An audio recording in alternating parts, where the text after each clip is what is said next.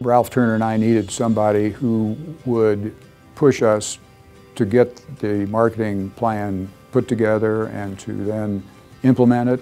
Uh, that was something that we'd not been able to really accomplish in the previous occasions when we tried to do that ourselves. And so we found that by uh, turning that work over to business builders, it got done and it made a difference to us. We meet on a monthly basis with uh, business builders in our offices.